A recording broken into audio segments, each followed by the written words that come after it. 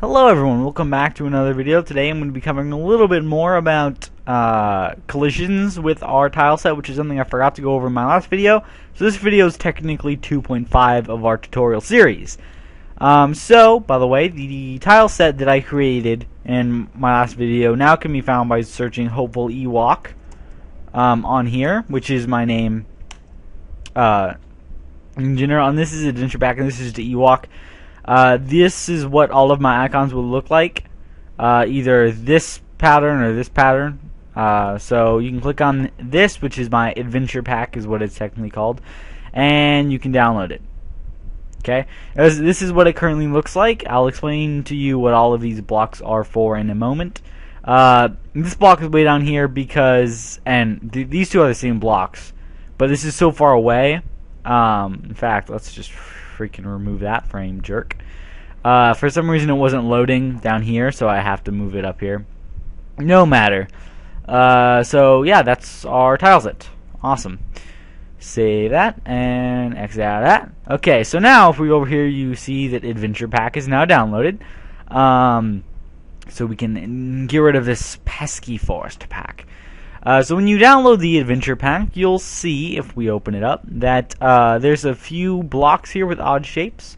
Um, now, it comes, as you can see here, um, actually, I don't think it comes with these. These are preloaded on my game. Although it might come with it. Who knows? But I don't think so. Uh, it come, Mine has these collision boxes, which I think I created. Uh, uh, that are different from the normal ones, and they have a name. This is platform and this is barrel. Uh, in fact, these shouldn't even be. I mean, those shouldn't be on there. See, as you can see, this has the barrel on it, and this is has the platform on it. So, if we test our game, which I think I should have something in here hooked up, uh, hopefully. Okay. Um, and I can't see anything because my tile set has been deleted. Okay. Anyways, if we go into scenes, let me open up scene one. Cool, as you can see here, all of my crap has been deleted. So, can we, these, these are the important questions left. Let's get rid of all of these extra layers, because no one loves those. Hey, buddy, what are you doing? Okay, cool. Uh, so if we create this, and we add a couple of these babies, add a couple of these, I am going to change this pack eventually, so, if you're wondering. Um, oopsies.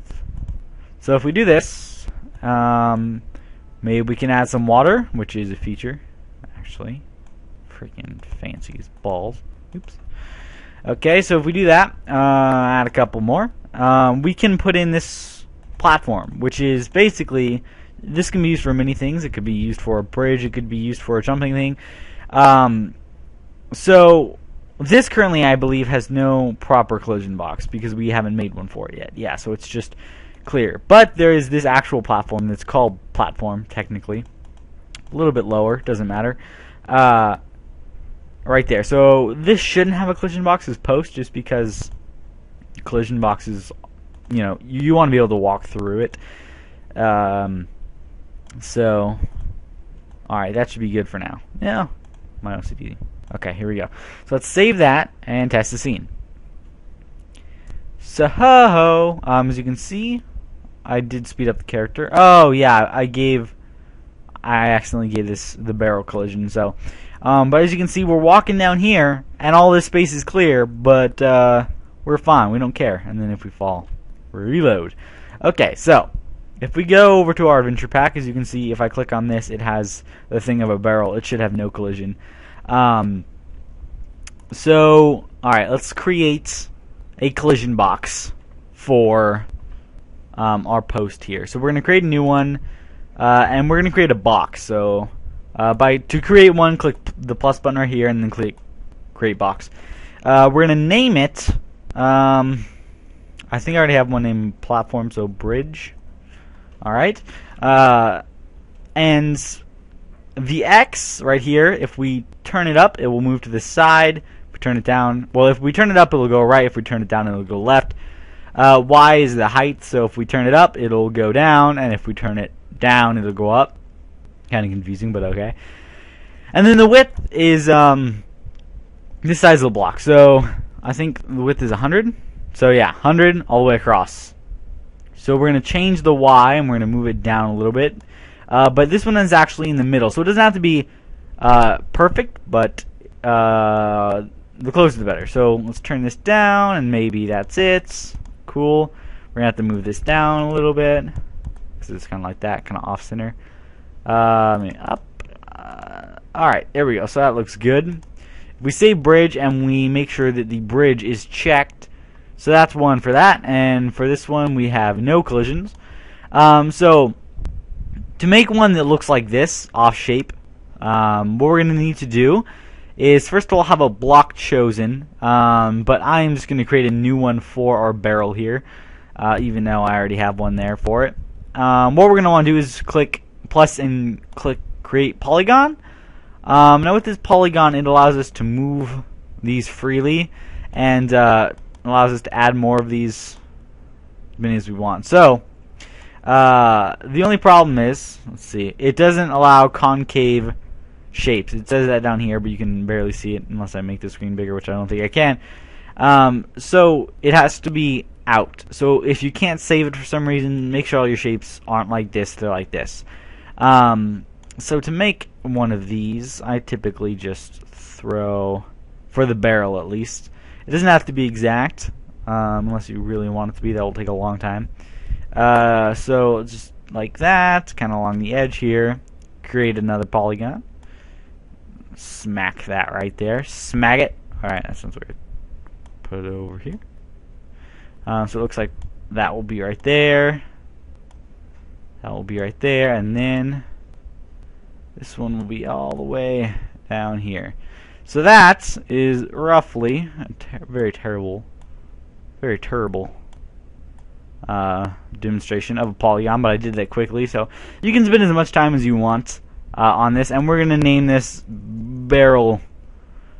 No, we're not even going to name it because I already have one. So you name it and then click OK. Make sure you don't have any concave shapes. So say if one was like this, up, oh, nope, not going to be allowed, so I can't save it. But if it's like this, we're cool.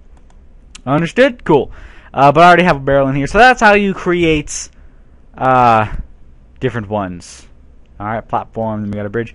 So, if we go in a scene and we click test scene, um, that's how this one was created, because it's all the way on the bottom, and it's very small. Uh, if we go in, and we replace all of these with these, click test scene, which is our bridge block, uh, as you can see, bam! We are awesome. So we are on the surface, or at least it appears that we're on the surface. We might be a little deeper or a little higher, but for the most part, we got it. And then these have no collision boxes, so we can walk freely. Uh, if you wanted to make this look really uh, better, you could possibly put uh, these posts on a new layer. Um, how you would do that is by closing this, selecting this, and clicking. Oops. Come on, give me the option, buddy. You wanna you wanna do it? You wanna do it? Come on.